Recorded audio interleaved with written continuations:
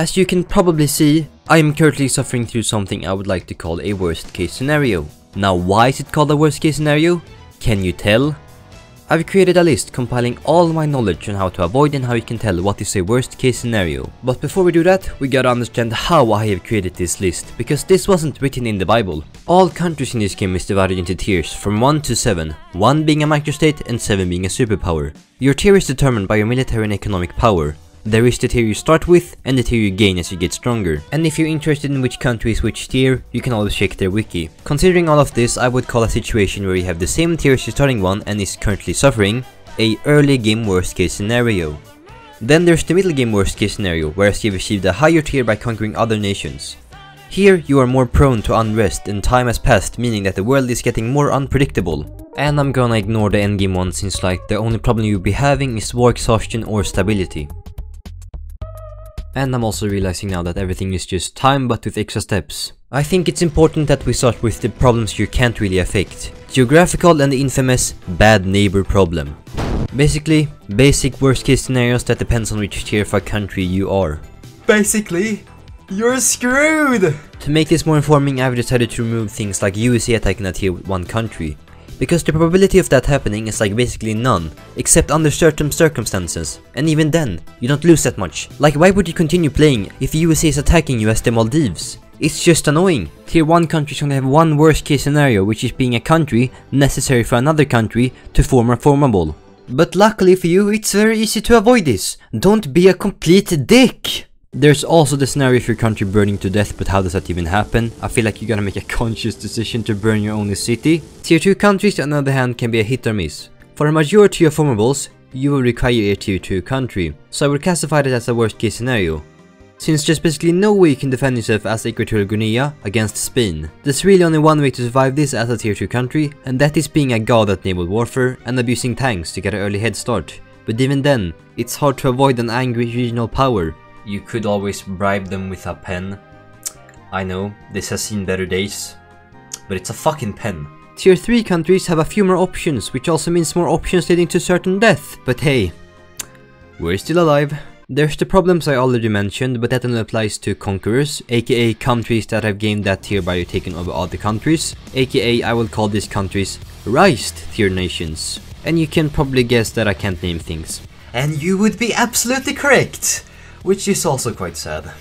Rised tier 3 nations are basically screwed, because at the middle game, which is around 2025, you would be fighting against big empires and you're basically screwed with no way to escape other than to use naval, which is gonna get destroyed by the Royal Navy. But you could always try getting an alliance with USA, you fucking cunt! Preset tier 3 nations on the other hand can quickly gain an advantage and stand toe to toe with tier 5 nations in the early game by abusing tanks and the mass attack strat.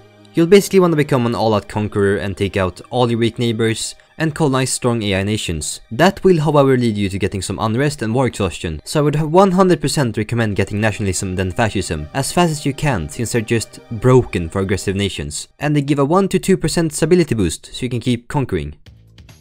I've decided to group up tier 4 and tier 5 nations for the simple fact that there's basically zero differences in their worst case scenarios. And I have realized that I've said that worst case scenarios way too many times. But I ain't gonna stop. Rised tier 4 and 5 nations worst case scenarios is that you own a small country that a superpower needs to form. Now you could always try to defend it or cede it to the superpower, but you're probably gonna get attacked by it, so don't make it stronger. Everyone in this game is ruthless dictators, except the occasional Switzerland. So I would recommend gathering all your manpower and attacking them quickly, if we are neighbors. And if it's a country that likes colonization, I will just pray that he doesn't have a strong navy. Preset tier 4 and 5 nations have even worse problems. Sure, you can play like me and conquer the entirety of Europe before 2025 is Germany, but not to be rude or anything. But you gotta be good at the game. And to be good at the game means that you gotta be quick on your fingers. Because as I've always said and will always say, Speed is the most important factor of Rise of Nations. The faster you are at conquering, the stronger you get much faster. Preset tier 6 and 7 nations really only have one basic worst case scenario, and that is being attacked and getting your land scorched. But even that is so unlikely, you're probably gonna get stronger through time, and the only starting tier 6 countries that is exposed to danger is Mexico getting attacked by USA, and Russia getting attacked by China. But if Mexico and Russia are both players, you're probably gonna basically shoot yourself in the foot. They can defend themselves pretty easily with their terrain. I mean, it's fucking Russia. Ever heard of something called winter? Rise tier 6 and 7 nations have the same problems as the presets ones, but also getting way too much war exhaustion from conquering. And these are only the basic worst case scenarios. What about the universal ones? And the most popular early game worst case scenario goes to the coalition one. What do I mean by that? Well, someone is just casually playing a country like Austria, and oopsie daisy, it seems that all European powers have created a big alliance. Oh, and USA has created a faction. And oh, China has also created a faction to counter those faction countering that faction. What the fuck? This scenario is just annoying. There's literally no way for you to expand without upsetting anyone, so you really only have one option, and that is going to Africa and conquering some stuff there, but you've already failed at that point. If you see the potential of a faction forming, start invading early, and start invading literally anything you fucking touch. This is to ensure that the faction doesn't get stronger than it already is, or can get, because the weaker the faction is, the easier it is to destroy it. I mean, it's like basic knowledge. That is really the only way you could possibly survive and get a monopoly on an entire continent. Faction problems are one thing, but what about the role-playing people? Someone is just casually playing Germany, like me, invading Austria and Czechia, then when they attack Poland, all hell breaks loose. USA for some reason started speaking like an edgy anime teen and saying things like, looks like Europe needs some liberation. And things like, oh, Germany is repeating World War II. Like, no! I just don't want to attack France at the beginning, because it's just not a good idea. And attacking more of the Eastern Europe will upset Russia. But don't worry, these things are very easy to avoid, because the so-called role players are pretty bad at the game. They just spam troops and are mostly beginners. So of course, like usual, use submarines and attackers on troops crossing the waters because attackers deal substantially more damage on troops in water. Now if they're on the same continent as you, just, just use an aircraft carrier or spam tanks.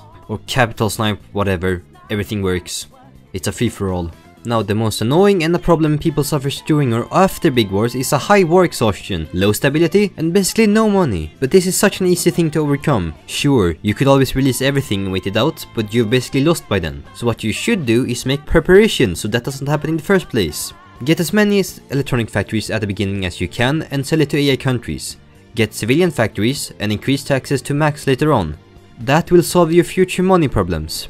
The war exhaustion and the low stability one is also easy as that. Just get fascism as soon as you can and get its exclusive policy reducing the unrest achieved. And then keeping your stability over 50% is as easy as justifying on small AI countries, declaring and then white piecing. You basically get free stability this way and if you have fascism you get a plus 2 stab per declaration, which is quite dumb, but I love it so much. But probably, the biggest offender and hardest thing to survive is someone having the title Grandmaster.